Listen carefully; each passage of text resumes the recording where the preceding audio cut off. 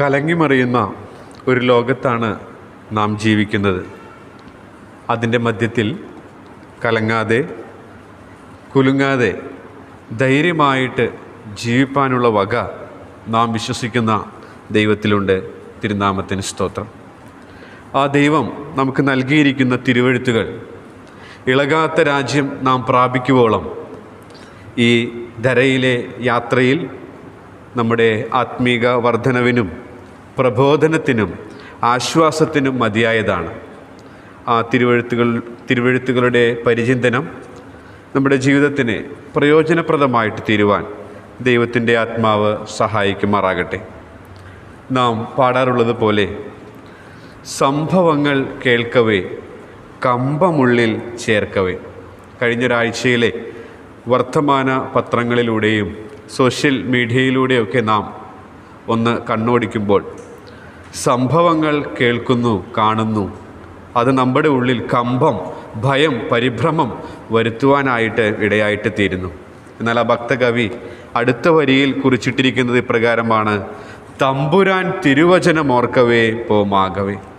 എന്നാൽ അങ്ങനെയുള്ള വാർത്തകൾ നമ്മൾ വായിക്കുകയും കാണുകയും ചെയ്യുമ്പോൾ പരിഭ്രമമാണ് നമ്മുടെ മനസ്സിലേക്ക് വരുന്നത്. എന്നാൽ തമ്പുരാൻ നമുക്ക് നൽകിയിരിക്കുന്ന തിരുവഴുത്തുകൾ നാം വായിക്കുകയും അതിലുള്ള സത്യങ്ങൾ ഗ്രഹിക്കുകയും ചെയ്യുമ്പോൾ ആ കമ്പം നീങ്ങിപ്പോകുന്നു എന്നുള്ളത് ഒരു യാഥാർത്ഥ്യമാണ്. അതുകൊണ്ട് അവൻ എന്നും നല്ലവനായിട്ട് രുചിച്ചറിഞ്ഞ് ഈ ഈ യാനം തുടരുവാനായിട്ട് കർത്താവ് നമ്മെ സഹായിക്കുന്ന വലിയ കൃപയ്ക്കായിട്ട് തിരുനാമത്തിന് സ്തോത്രം.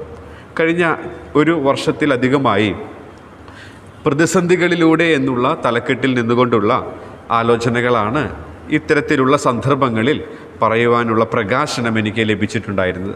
ഇന്നും അത് തുടരുവാനായിട്ടാണ് ഞാൻ ആഗ്രഹിക്കുന്നത്. കാരണം നമ്മളെല്ലാം അനന്തമായി നീണ്ടുപോകുന്ന ഈ മഹാമാരിയുടെ കരാള കരാളഹസ്തത്തിന്റെ കീഴിൽ ഒരു വിധത്തിലല്ലെങ്കിൽ മറ്റൊരു വിധത്തിൽ അതിന്റെ പ്രതിസന്ധികൾ നേരിട്ടുകൊണ്ടിരിക്കുന്നവരാണ്. അതിന്റെ മധ്യത്തിൽ കർത്താവ് നമ്മിൽ നിന്ന് ആഗ്രഹിക്കുന്ന ചില യാഥാർത്ഥ്യങ്ങളാണ് പറയുവാനായിട്ട് ഞാൻ പരിശ്രമിച്ചിട്ടുള്ളത്. അത് ഇന്നും തുടരുവാനായിട്ട് ഞാൻ ആഗ്രഹിക്കുകയാണ്.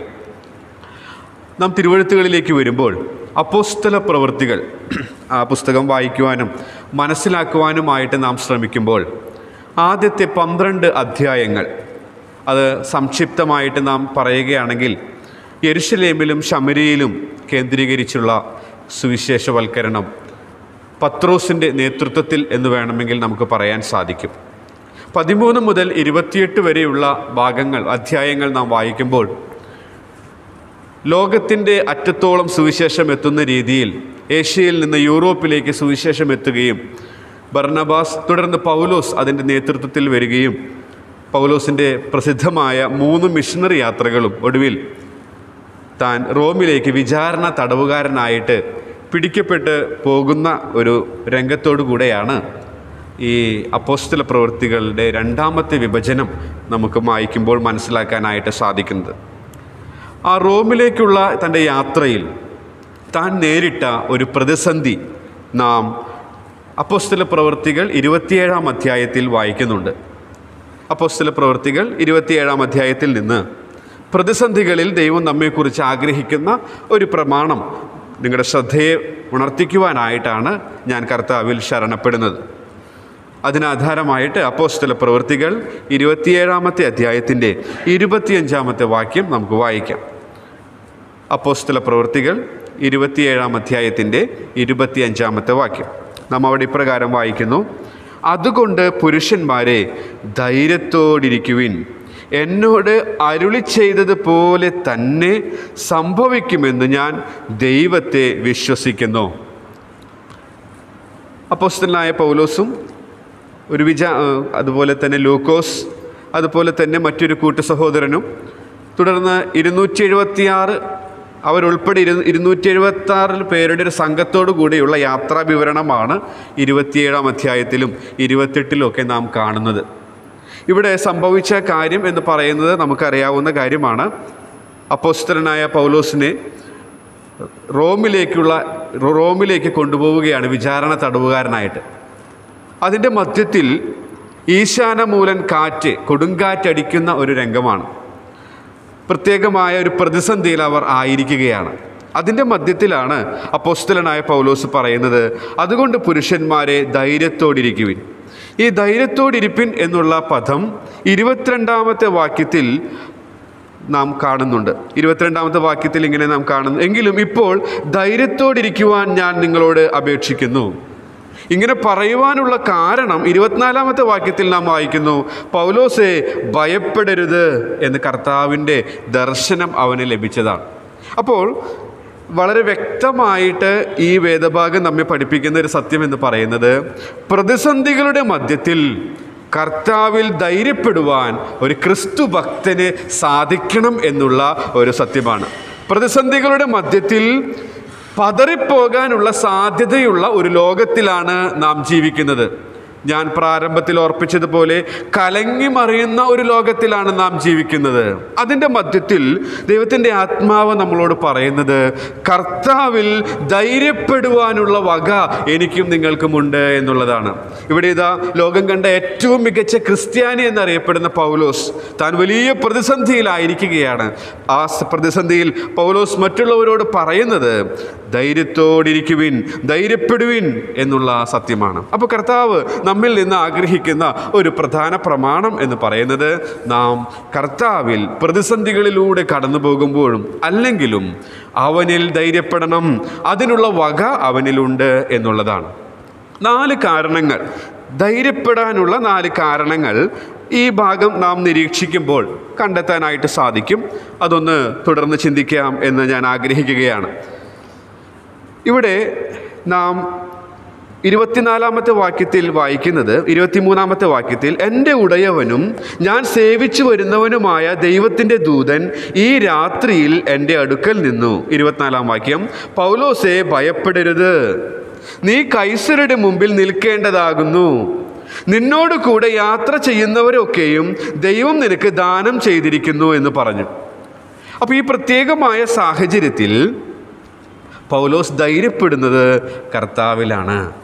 കർത്താവ് അവനോട് ഇടപെടുന്നതിലാണ് അവന്റെ ധൈര്യം വരുന്നത്. അപ്പം അതിൽ നിന്ന് ഞാൻ നേരത്തെ പറഞ്ഞ അതേ ആശയം തന്നെയാണ് ഒന്നാമതായിട്ട് പറയുന്നത്. ഏത് സാഹചര്യത്തിലും ധൈര്യപ്പെടുവാനുള്ള വക നാം വിശ്വസിക്കുന്ന ദൈവത്തിലുണ്ട് എന്നുള്ള സത്യം ആ പശ്ചാത്തലത്തിൽ നിന്ന് നമുക്ക് കണ്ടെത്താനായിട്ട് സാധിക്കും.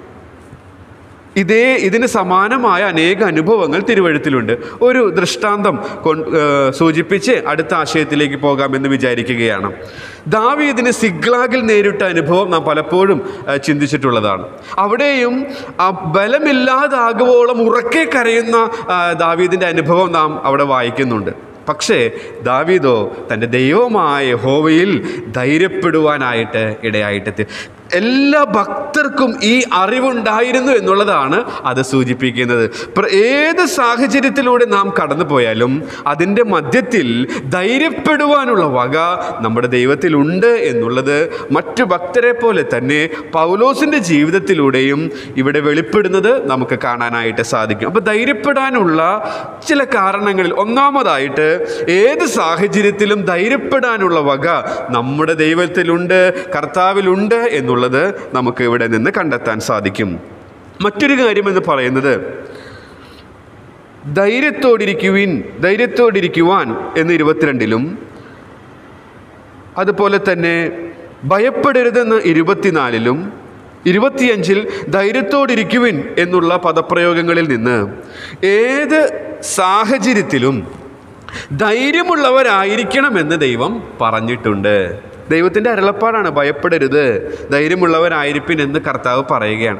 കർത്താവ് തന്നെ ഈ ലോകത്തിൽ ആയിരുന്നപ്പോൾ തന്നെ ശിഷ്യന്മാരോട് ഇത് പറഞ്ഞിട്ടുള്ളത് നമുക്ക് കാണാൻ സാധിക്കും. യശാവിന്റെ പ്രവചനത്തിലെ ആ പ്രധാനപ്പെട്ട ആ വാഗ്ദാനം നമ്മുടെ മനസ്സിലേക്ക് വന്ന് ഭയപ്പെടേണ്ട എന്നുള്ളത്. ആ നിലയിൽ നാം ചിന്തിക്കുമ്പോൾ ഏത് സാഹചര്യത്തിലും നാം അവന്റെ മക്കൾ അവന്റെ ജനം ധൈര്യമുള്ളവരായിരിക്കണം എന്ന് അവൻ പറഞ്ഞിട്ടുണ്ട് എന്നുള്ളത് നമുക്ക് ഓർക്കാനായിട്ട് സാധിക്കും. മൂന്നാമതായിട്ട് ഇവിടെ നമുക്ക് കാണുന്നത് ഇരുപത്തി മൂന്നാമത്തെ വാക്യത്തിൽ ഈ രാത്രിയിൽ എന്റെ അടുക്കൽ നിന്നു എന്നുള്ളതാണ്. അടുക്കൽ നിന്നു.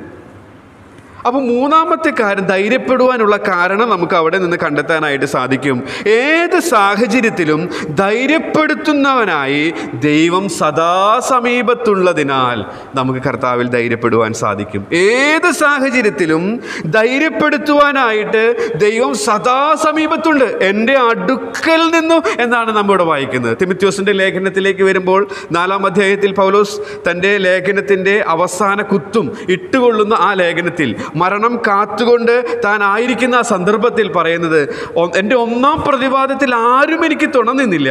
എന്നാൽ കർത്താവോ എനിക്ക് തുണ നിന്നു. സങ്കീർത്തനം നാൽപ്പത്തി ആറിൽ നാം വായിക്കുന്നത് കഷ്ടകാലത്ത് അവൻ ഏറ്റവും അടുത്ത തുണ എന്നാണ്. അതെ അതുകൊണ്ടാണ് ഇങ്ങനെ ഒരു തലക്കെട്ട് കൊടുക്കാൻ ഇടയായിട്ട് തീർന്നത് ഏത് സാഹചര്യത്തിലും ധൈര്യപ്പെടുത്തുന്നവനായി നാം വിശ്വസിക്കുന്ന നമ്മെ അറിയുന്ന ദൈവം സദാ സമീപത്തുണ്ട്. അതുകൊണ്ട് ധൈര്യമുള്ളവരായിരിക്കണം എന്നുള്ളതാണ്. നാലാമതായിട്ട് ഈ കാര്യങ്ങളെല്ലാം ഈ ഇരുപത്തി അഞ്ചാമത്തെ വാക്യത്തിൽ നാം വായിക്കുമ്പോൾ അവിടെ ഒരു വാക്തത്വമാണ് കാണുന്നത്. അതുകൊണ്ട് പുരുഷന്മാരെ ധൈര്യത്തോടിരിക്കുവിൻ. എന്നോട് അരുളി ചെയ്തതുപോലെ തന്നെ സംഭവിക്കും എന്ന് ഞാൻ ദൈവത്തെ വിശ്വസിക്കുന്നു. ഏത് സാഹചര്യത്തിലും ധൈര്യപ്പെടുത്തുവാൻ അവന്റെ കരമുണ്ട്. പ്രവർത്തിക്കുന്ന ആ കരം നന്മയ്ക്കായി കൂടി വ്യാപരിക്കുന്ന ആ കരം ആ കരം കാണുവാൻ നമുക്ക് സാധിച്ചാൽ ധൈര്യത്തോടെ ഇരിക്കുവാനായിട്ട് സാധിക്കും. ഭക്തന്മാരുടെ ചരിത്രം നാം നോക്കിയാൽ നമുക്കത് കാണാൻ സാധിക്കും. ഇവിടെ പ്രവർത്തിക്കുന്ന കരം എന്നുള്ള വാക്ക് ഇല്ല എങ്കിൽ തന്നെയും ആ പ്രവർത്തിക്കുന്ന കരം എന്ന് പറയുന്ന ദൈവത്തിന്റെ പദ്ധതികളെ സൂചിപ്പിക്കുക. ഇവിടെ വ്യക്തമായി ദൈവത്തിന്റെ പദ്ധതി തന്റെ ദാസന് വെളിപ്പെടുത്തി കൊടുക്കുകയാണ്. ആ പദ്ധതി പ്രകാരം കാര്യങ്ങൾ സംഭവിക്കുമെന്നുള്ള ഉറപ്പും നിശ്ചയവും പൗലോസിനുണ്ടായിരുന്നു. അതുകൊണ്ടാണ് തൻ താനിപ്പോൾ ഒരു അടിമയെ പോലെ അടിമയെ പോലെ തടവുകാരനായിട്ട് പിടിക്കപ്പെട്ടുകൊണ്ടിരിക്കുന്ന പശ്ചാത്തലത്തിലാണെങ്കിലും ധൈര്യത്തോടുകൂടെ തന്റെ ആ മേധാവിയോട് മേൽ മേലധികാരിയോട് സംസാരിക്കുവാനായിട്ട് തനിക്ക് ഇടയായിട്ട് തീർന്നത് എന്നുള്ളതാണ്. നാല് കാര്യങ്ങളാണ് ഞാൻ ചുരുക്കമായിട്ട് ഈ ഭാഗം നിരീക്ഷിച്ചപ്പോൾ പറയുവാനായിട്ട് ഇടയായിട്ട് തീർന്നത്. ഇതിന്റെ പശ്ചാത്തലത്തിൽ നിന്ന് ഏത് സാഹചര്യത്തിലും ധൈര്യപ്പെടുവാനുള്ള വക നാം വിശ്വസിക്കുന്ന ദൈവത്തിലുണ്ട്. ഏത് സാഹചര്യത്തിലും ധൈര്യമുള്ളവരായിരിക്കണം. തന്റെ ജനം എന്ന് ദൈവത്തിന് നിർബന്ധമുണ്ട് അത് പറഞ്ഞിട്ടുണ്ട്. ഏത് സാഹചര്യത്തിലും ധൈര്യപ്പെടുത്തുന്നവനായ ദൈവം സദാ സമീപത്തുണ്ട്. ഏത് സാഹചര്യത്തിലും ധൈര്യപ്പെടുത്തുവാൻ അവന്റെ വലങ്കരം അവന്റെ പ്രവർത്തിക്കുന്ന കരം നമുക്ക് ഉണ്ട് എന്നുള്ളതാണ്. ധൈര്യം നൽകുന്ന ഈ കർത്താവിന്റെ നാല് പ്രത്യേകതകളും നമുക്കിവിടെ കണ്ടെത്താനായിട്ട് സാധിക്കും. നാം ആ ഇരുപത്തിമൂന്നാമത്തെ വാക്യം നാം വായിക്കുമ്പോൾ എന്റെ ഉടയവൻ എന്നാണ് പറയുന്നത്. അതിന്റെ അടുത്ത ഭാഗം വായിക്കുന്നത് ഞാൻ സേവിച്ചു വരുന്നവൻ എന്നാണ്. അപ്പോൾ അതിൽ നിന്ന് ഈ ധൈര്യം നൽകുന്ന ധൈര്യം എപ്പോഴും ധൈര്യപ്പെട ധൈര്യപ്പെടുത്തുവാനായി സദാ നമ്മുടെ അടുത്തുള്ള നമുക്കായി പ്രവർത്തിക്കുന്ന വലങ്കരമുള്ള ദൈവത്തിന്റെ ചില പ്രത്യേകതകൾ നമുക്ക് അവിടെ കാണാൻ സാധിക്കും. അവൻ എന്റെ ഉടയവനാണ്. പൗലോസ് പറയാണ് അവൻ എന്റെ ഉടയവനാണ്. ഉടയവൻ എന്ന് പറയുമ്പോൾ രണ്ട് അർത്ഥത്തിൽ നമുക്ക് എടുക്കാം. സൃഷ്ടാവ് എന്നുള്ള നിലയിലും വീണ്ടെടുപ്പുകാരൻ എന്നുള്ള നിലയിലും. അവൻ വളരെ വില നൽകി എന്നെ വാങ്ങിയവനാണ്. ഞാൻ അവനുള്ളവനാണ്. അവന്റെ സ്വന്തമാണ്. അവന്റെ നിക്ഷേപമാണ്. അപ്പോൾ ധൈര്യത്തോടെ ഇരിക്കുവാൻ ഭയപ്പെടരുത് എന്ന് പറഞ്ഞ ഈ ദൈവം ആരാണെന്നുള്ളത് പൗലോസ് ഇവിടെ പറയുകയാണ്. അവൻ എന്റെ ഉടയവനാണ്. ജാതികളോടാണ് അത് പറയുന്നതെങ്കിൽ തന്നെയും അതെ വളരെ ശക്തമായ ബോധ്യം ഉറച്ച ബോധ്യം പൗലോസിനുണ്ടായിരുന്നു. അതെ ദൈവം ധൈര്യം നൽകുന്ന ഈ കർത്താവ് അവൻ എന്റെ ഉടയവൻ അവൻ വളരെ വില നൽകിയാണ് എന്നെ വാങ്ങിയത്. അതുകൊണ്ട് എന്നെ അവൻ വഴിയിൽ വെച്ച് ഉപേക്ഷിച്ച് പോകുന്നവനല്ല എന്നുള്ളതാണ്. മാത്രമല്ല ഞാൻ സേവിച്ചു വരുന്നവനുമായ എന്നുള്ളതിൽ നിന്ന് അവൻ നല്ല യജമാനനാണ് അവൻ എന്റെ യജമാനനാണ് എന്നുള്ള മറ്റൊരു സത്യം പൗലോസ് ഇവിടെ വെളിപ്പെടുത്തുകയാണ്. ഞാൻ സേവിച്ചു വരുന്നവനായ ഞാൻ സേവിച്ചു വരുന്നവനുമായ അവൻ എന്റെ യജമാനൻ അവൻ എന്റെ ഉടയവനാണ്. അത് വളരെ വില നൽകിയാണ് അവൻ എന്നെ വാങ്ങിയത്. അതിനവന് വലിയൊരു ഉദ്ദേശമുണ്ട്. എന്നെ വലിയ നിക്ഷേപമായിട്ടാണ് അവൻ കാണുന്നത്. മാത്രമല്ല അവൻ എന്റെ യജമാനനാണ്. അവൻ നല്ല യജമാനനാണ്. അവൻ എന്താണോ എന്നിൽ നിന്ന് ആവശ്യപ്പെടുന്നത് അത് ചെയ്യുവാൻ എനിക്ക് ശക്തി നൽകുന്നവനാണ്. അത് ന്യായപ്രമാണവും കൃപയും നാം താരതമ്യം ചെയ്ത് പഠിക്കുമ്പോൾ ന്യായപ്രമാണം അത് അതിന്റെതായ സ്റ്റാൻഡേർഡിൽ നിന്ന് എത്തുവാനായിട്ട് നമ്മളോട് ആവശ്യപ്പെടുകയാണ്.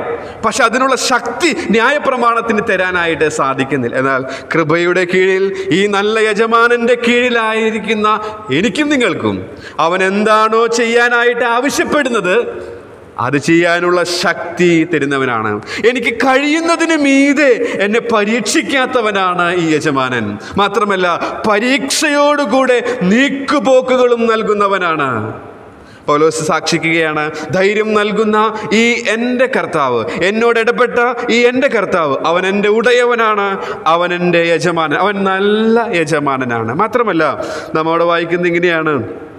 ഇരുപത്തിനാലിന്റെ ആദ്യത്തെ പദം പൗലോസേ എന്നുള്ളതാണ്. പൗലോസേ ഓമനപ്പേർ പേർ ചൊല്ലി വിളിക്കുന്നവൻ എന്ന് വെച്ചാൽ അവൻ എന്നെ അറിയുന്നവനാണ് അവൻ എന്നെ അറിയുന്നവനാണ്. പൗലോസേ എന്നാണ് അവിടെ നാം കാണുന്നത്. ആ ഭാവനയിൽ ഒന്ന് ഓർത്ത് നോക്കിയാൽ ഒരു പക്ഷെ ശരീരത്തിൽ വളരെയധികം ക്ലേശങ്ങൾ പൗലോസിനുണ്ട്.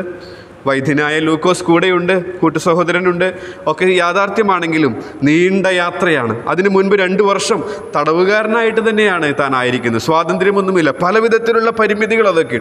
അതിന്റെ മധ്യത്തിലാണ് ആ ഓമന പേര് ചൊല്ലി വിളിക്കുന്ന ആ മന്ദമായ ശബ്ദം. അത് തനിക്ക് ലഭിച്ച അത് തനിക്ക് നൽകിയ ആ കുളിർമ എത്ര വലുതായിരിക്കും. അതെ പൗലോസേ എന്ന് പറയുന്നതിൽ നിന്ന് അവൻ എന്നെ അറിയുന്നവനാണ്. അവൻ എന്റെ ഉടയവനാണ്. അവൻ എന്റെ യജമാനനാണ്. അവൻ എന്നെ അറിയുന്നവനാണ്. അവൻ എന്നെ അറി- അറിയുന്നവനാണ്. മാത്രമല്ല നാം വായിക്കുന്നത് ഇങ്ങനെയാണ്. അവൻ ഇരുപത്തിയഞ്ചാമത്തെ വാക്യത്തിൽ നാം വായിച്ചതാണ്.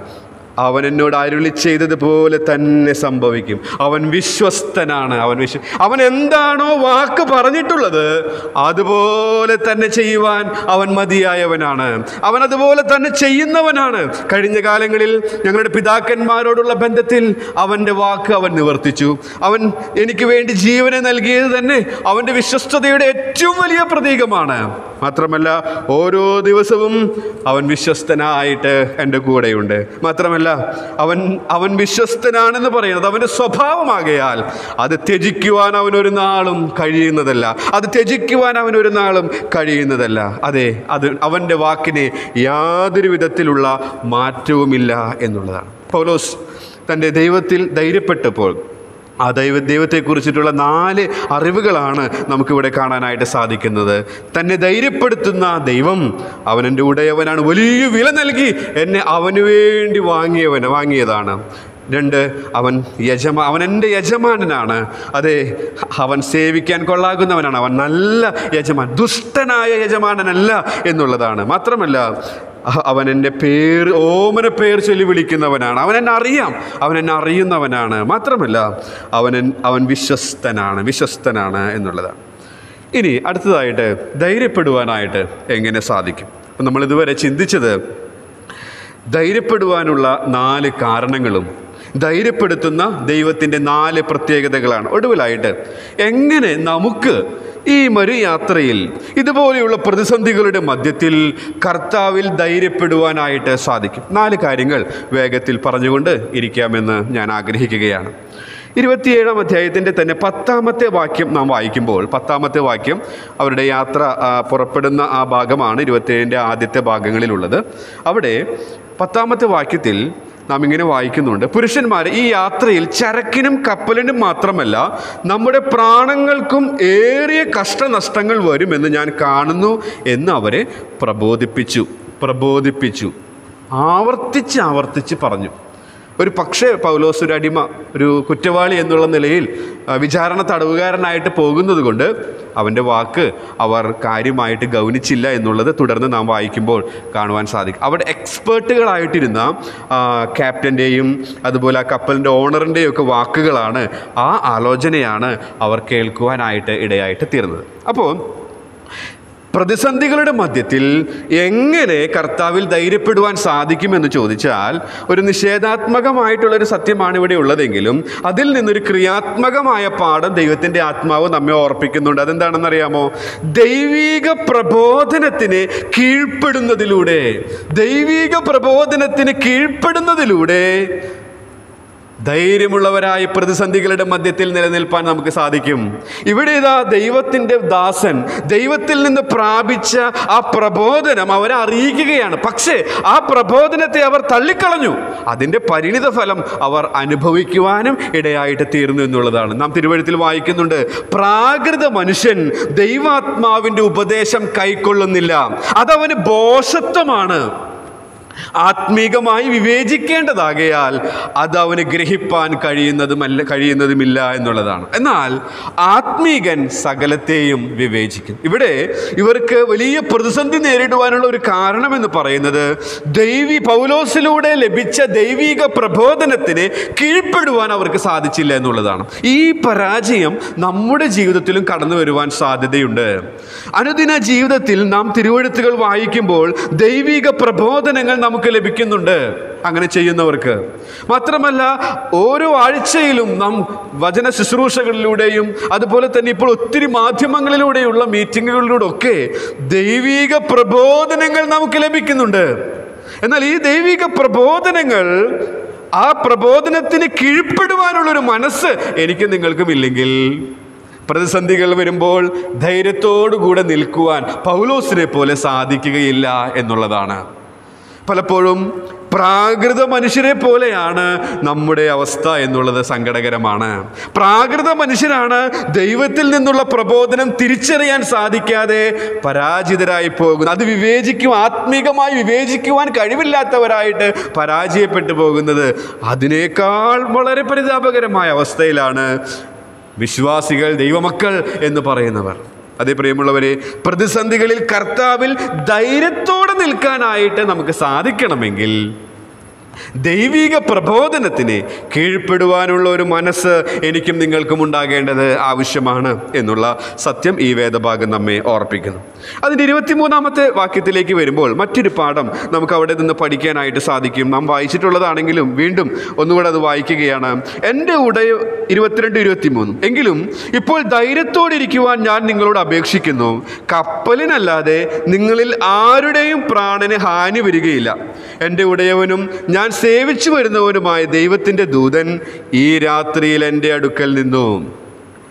പൗലോസെ ഭയപ്പെടരുത്. നീ കൈസരുടെ മുമ്പിൽ നിൽക്കേണ്ടതാകുന്നു. നിന്നോടുകൂടെ യാത്ര ചെയ്യുന്നവരൊക്കെയും ദൈവം നിനക്ക് ദാനം ചെയ്തിരിക്കുന്നു എന്ന് പറഞ്ഞു. അതുകൊണ്ട് പുരുഷന്മാരെ ധൈര്യത്തോടിരിക്കുവിൻ. എന്നോട് അരുളി ചെയ്തതുപോലെ തന്നെ സംഭവിക്കുമെന്ന് ഞാൻ ദൈവത്തെ വിശ്വസിക്കുന്നു.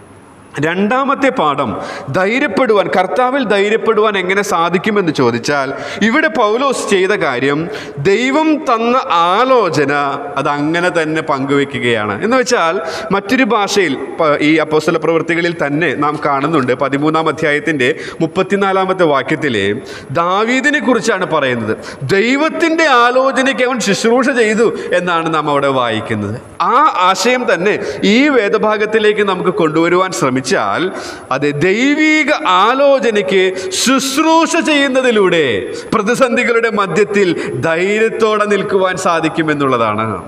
പൗലോസ് അതാണ് ഇവിടെ ചെയ്യുന്നത്. വളരെ വലിയ പ്രതിസന്ധിയാണ്. തന്റെ പ്രബോധനത്തിന് അവർ ചെവികൊണ്ടില്ല എന്നാൽ ആ പ്രതിസന്ധിയുടെ മധ്യത്തിൽ വീണ്ടും അവൻ ധൈര്യത്തോടുകൂടെ അവൻ അവരെ ഉത്ബോധിപ്പിക്കുകയാണ്. ദൈവത്തിന്റെ ആലോചനയ്ക്ക് അവൻ ശുശ്രൂഷ ചെയ്യുകയാണ്.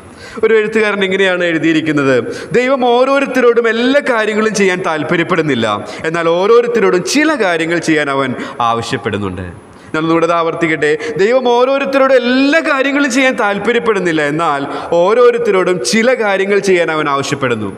ദൈവം നമ്മിൽ നിന്ന് ചില കാര്യങ്ങൾ ചെയ്യാനായിട്ട് ആവശ്യപ്പെടുന്നുണ്ട്. ഈ നമുക്ക് ലഭിച്ച ഈ ടൈം പീരീഡിൽ ദൈവത്തിന്റെ ആലോചനയ്ക്ക് ശുശ്രൂഷ ചെയ്യണം എന്ന് അവൻ ആഗ്രഹിക്കുന്നുണ്ട്. അത് പ്രതിസന്ധികളിൽ ധൈര്യത്തോടെ നിൽക്കുവാൻ നമ്മെ സഹായിക്കുന്നതാണ്. ദൈവം നമ്മെ കൊണ്ട് ചെയ്യാൻ മാത്രം ഉദ്ദേശിക്കുന്ന കാര്യങ്ങൾ അത് ചെയ്തു തീർക്കാൻ സാധിച്ചാൽ ജീവിതം ധന്യമായി എന്നുള്ളത്. അതായി അതിനായിരിക്കണം നമ്മുടെ ലക്ഷ്യവും പരിശ്രമവും എന്നുള്ളത്. അതായിരിക്കണം നമ്മുടെ ജീവിതത്തിന്റെ ആത്യന്തികമായിട്ടുള്ള പ്രേരക ഘടകം എന്ന് പറയുന്നത്. പലപ്പോഴും ദാവീദിനെ പോലെ നാം ആവാറുണ്ട്.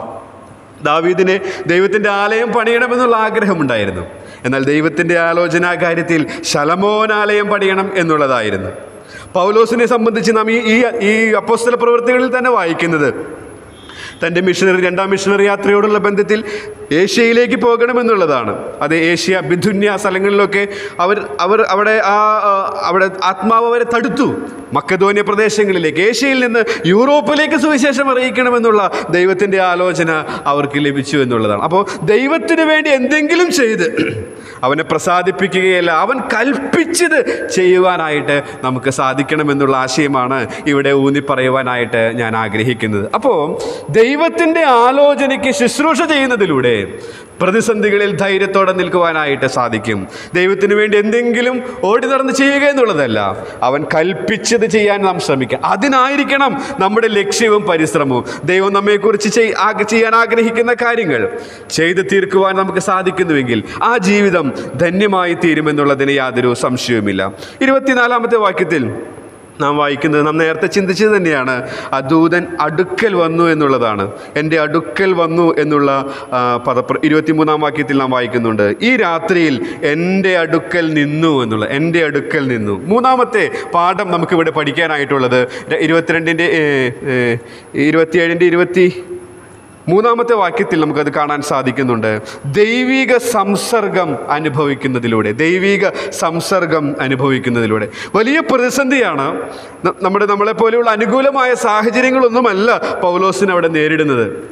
എന്നാൽ അതിന്റെ മധ്യത്തിലും താൻ സേവിക്കുന്ന തന്റെ ഉടയവനായ ദൈവവുമായിട്ട് ബന്ധപ്പെടുവാൻ സമയം കണ്ടെത്തുന്ന അത് തിരിച്ചറിയുന്ന അത് വിലമതിക്കുന്ന അത് വെളിപ്പെടുത്തുന്ന പൗലോസിനെ നമുക്കിവിടെ കാണുവാനായിട്ട് സാധിക്കും. ഏത് സാഹചര്യത്തിലും അവനുമായി സംസാരിക്കുന്ന ഏത് സാഹചര്യത്തിലും അവന്റെ ഇഷ്ടം പരിശോധിക്കുന്ന ഏത് സാഹചര്യത്തിലും അവനുമായിട്ട് സമയം ചെലവഴിക്കുന്നതിൽ താല്പര്യപ്പെടുന്ന പൗലോസിനെ നമുക്കിവിടെ കാണാനായിട്ട് സാധിക്കും. അപ്പോൾ പ്രതിസന്ധികളിൽ കർത്താവിൽ ധൈര്യപ്പെടണമെങ്കിൽ അനുദിന ജീവിതത്തിൽ ആ സംസർഗം നാം അനുഭവിക്കണം. കർത്താവുമായിട്ടുള്ള വ്യക്തിപരമായ ബന്ധത്തിന്റെ ദൃഢത നാം ഊട്ടിയുറപ്പിക്കുവാനിടയായിട്ട് തീരണം. എഫ് എസ് ഓസിലെ സഭയോടുള്ള ബന്ധത്തിൽ കർത്താവ് പറയുന്നത് ഇങ്ങനെയാണ്. രണ്ടാമത്തെ വെളിപ്പാട് പുസ്തകം രണ്ടാം അധ്യായത്തിന്റെ നാലാമത്തെ വാക്യത്തിൽ നിന്റെ ആദ്യ സ്നേഹം വിട്ടുകളഞ്ഞു എന്നൊരു കുറവ്. ആദ്യ സ്നേഹം വിട്ടുക കർത്താവുമായിട്ടുള്ള സംസർഗം. അതറിയുന്നവനാണ് അവൻ അതവൻ പറയുന്നവനാണ്. അതവൻ ആഗ്രഹിക്കുന്നവനാണ്. അനുദിന ജീവിതത്തിൽ എനിക്കും നിങ്ങൾക്കും അത് സാധിക്കേണ്ടതാണ്. അത് സാധിക്കും സാധിക്കാത്തതാണ് പ്രതിസന്ധികളുടെ മധ്യത്തിൽ താളടിയായിട്ട് പോകുവാൻ ഇടയായിട്ട് തീരുന്നത് ഇവിടെ ഇതാ പൗലോസ് വലിയ പ്രതിസന്ധിയാണ്. ഈശാനമൂലൻ എന്ന കൊടുങ്കാറ്റടിക്കുകയാണ്. തന്റെതായ കാരണം കൊണ്ടല്ല ദൈവിക പ്രബോധനം അദ്ദേഹം അവരോട് അറിയിച്ചതാണ്. പക്ഷേ അവർ അതിന് ചെവികൊണ്ടില്ല. പ്രാകൃത മനുഷ്യൻ ദൈവത്തിന്റെ ഉപദേശം കൈക്കൊള്ളാത്തതുപോലെ ആ മനുഷ്യർ അത് കൈക്കൊണ്ടില്ല എന്നുള്ളതാണ്. അതിന്റെ ഫലമായി വലിയ പ്രതിസന്ധിയിലായപ്പോഴും. അവൻ ദൈവത്തോടുള്ള സ്നേഹം വിട്ട് കളയുന്നില്ല ദൈവിക സംസർഗം വിട്ട് കളയുന്നില്ല അവനും ആ ദൈവവുമായിട്ടുള്ള ബന്ധത്തിന് ഇടിവ് വരുന്നില്ല. വളരെ സുദൃഢമായ ആ ബന്ധം തുടർന്നു പോകുന്നു എന്നുള്ളതാണ് എന്റെയും നിങ്ങളുടെയും ജീവിതത്തിൽ. ദൈവവുമായിട്ടുള്ള നമ്മുടെ ബന്ധത്തിൽ ഉലച്ചിൽ തട്ടുന്ന എല്ലാറ്റിൽ നിന്നും അകലം പാലിക്കാൻ നമുക്ക് സാധിക്കണം. എന്ത് വില കൊടുത്തും കർത്താവിന്റെ സന്നിധിയിൽ ഇരിക്കുന്നതിന്റെ ആനന്ദം ഓരോ ദിവസവും അനുഭവിക്കുവാൻ നമുക്ക് സാധ്യ അങ്ങനെയെങ്കിൽ കരുത്തരായ വിശ്വാസികളായി ദൈവം ആഗ്രഹിക്കുന്ന രീതിയിലുള്ള ഉന്നത ക്രിസ്തീയ ജീവിതത്തിന്റെ സന്തോഷം അനുദിനം അനുഭവിക്കുവാൻ നമുക്ക് സാധിക്കും എന്നുള്ളതാണ്. ഒടുവിലായിട്ട് അതിന്റെ ഇരുപത്തിയഞ്ചാമത്തെ വാക്യത്തിൽ നാം വായിക്കുന്നത് ഇങ്ങനെയാണ്. അതുകൊണ്ട് പുരുഷന്മാരെ ധൈര്യത്തോടിരിക്കുവിൻ. എന്നോട് അരുളി ചെയ്തതുപോലെ തന്നെ സംഭവിക്കും എന്ന് ഞാൻ ദൈവത്തെ വിശ്വസിക്കുന്നു എന്നുള്ളതാണ്. എന്നോട് അരുളി ചെയ്തതുപോലെ തന്നെ സംഭവിക്കും. ദൈവീക ശക്തിയിൽ ആശ്രയിക്കുന്നതിലൂടെ. നമ്മുടെ സ്വന്തം ശക്തിയിൽ ആശ്രയിച്ചാൽ പ്രതിസന്ധികളിൽ ധൈര്യത്തോടെ നിൽക്കുവാൻ സാധിക്കുകയില്ല. നമ്മുടെ വിദ്യാഭ്യാസത്തിലോ നമ്മുടെ ധനത്തിലോ നമുക്കുള്ള പല കാര്യങ്ങളിലും നാം ആശ്രയിക്കുകയാണെങ്കിൽ നാം ചാരുകയാണെങ്കിൽ നാം അതിൽ അതിൽ അഭിമാനം കൊള്ളുകയാണെങ്കിൽ പ്രതിസന്ധികൾ വരുമ്പോൾ ധൈര്യപ്പെടുവാൻ സാധിക്കുകയില്ല. എന്നാൽ പൗലോസ് ഇവിടെ പറയുകയാണ് അവൻ എന്താണോ അരുളി ചെയ്തിട്ടുള്ളത് ആ അരുളി ചെയ്തത് അതുപോലെ തന്നെ സംഭവിക്കും. അത് സംഭവിപ്പിക്കുവാനായിട്ട് അവൻ പൂർണ ശക്തനാണ്. തിമിത്യോസിന്റെ ലേഖനം രണ്ടാം രണ്ട് തിമിത്യോസ് ഒന്നിൽ നാം വായിക്കുന്നുണ്ട്. ഞാൻ ആരെ വിശ്വസിച്ചിരിക്കുന്നു എന്ന് അറിയുന്നു. അവൻ എന്റെ ഉപനിധി സൂക്ഷിപ്പാൻ ശക്തൻ എന്ന് ഉറച്ചിരിക്കുകയാണ്. അതേ പ്രിയമുള്ളവരെ ദൈവിക ശക്തിയിൽ അനുദിനം ആശ്രയിക്കുക. ഈ പാപത്തോടുള്ള പോരാട്ടത്തോടുള്ള ബന്ധത്തിൽ അനുദിന ജീവിതത്തിൽ നമ്മുടെ സ്വന്തം ശക്തിയിൽ സ്വന്തം ആശ്രയ സ്വന്തം ആശ്രയത്തിൽ സ്വന്തമായിട്ടുള്ള പല വിധത്തിലുള്ള ആശയങ്ങളിൽ നമുക്ക് വിജയം കൈവരിക്കുവാൻ സാധിക്കുകയില്ല. ദൈവത്തിന്റെ ശക്തിക്കായി കെഞ്ചുമ്പോൾ ദൈവം തരുന്ന ശക്തി മുഖാന്തരം പാപത്തെ ജയിച്ച് ജീവിക്കുവാൻ നമുക്ക് സാധിക്കുമെന്നുള്ളതാണ് നമ്മുടെ സ്വന്തം ശക്തിയിൽ അത് സാധിക്കുകയില്ല. അതെ പ്രതിസന്ധികളുടെ മധ്യത്തിൽ ദൈവത്തിൽ ധൈര്യപ്പെടണം. ദൈവത്തിന്റെ ശക്തിയിൽ ആശ്രയിക്കുന്നതിലൂടെ അത് സാധിക്കും എന്നുള്ളതാണ്. ഇന്ന് ഇന്ന് ഇന്നത്തെ വചന പരിചിന്തനത്തോടുള്ള ബന്ധത്തിൽ മൂന്ന് പ്രധാനപ്പെട്ട ആശയങ്ങളാണ് ഞാൻ പങ്കിടുവാനായിട്ട് ശ്രമിച്ചത്. ഒന്ന് ധൈര്യപ്പെടുവാനുള്ള നാല് കാരണങ്ങൾ.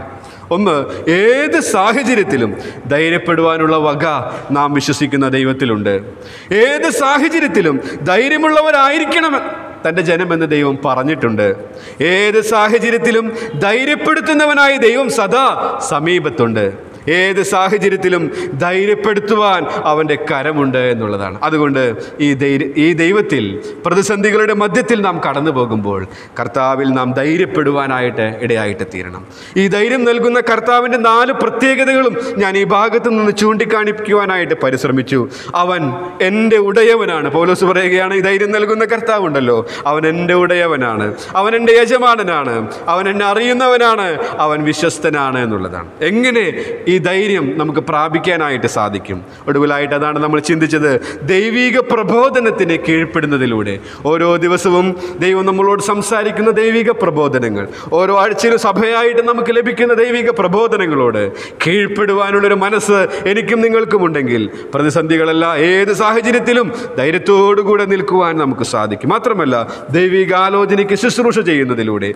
ദൈവത്തിന്റെ സംസർഗം അനുഭവിക്കുന്നതിലൂടെ ദൈവിക ശക്തിയിൽ അനുദിനം ആശ്രയിച്ച് ജീവിക്കുന്നതിലൂടെ പ്രതിസന്ധികളുടെ മധ്യത്തിൽ കർത്താവിൽ ധൈര്യത്തോടെ ജീവിക്കുവാനായിട്ട് സാധിക്കും അതിനായിട്ട് വചനം പറഞ്ഞ എന്നെയും കേട്ട നിങ്ങളെയും ദൈവത്തിന്റെ ആത്മാവ് സഹായിക്കട്ടെ എന്ന് പറഞ്ഞുകൊണ്ട് ഞാൻ നിർത്തുന്നു. ദൈവനാമം മഹത്വപ്പെടുമാറാകട്ടെ.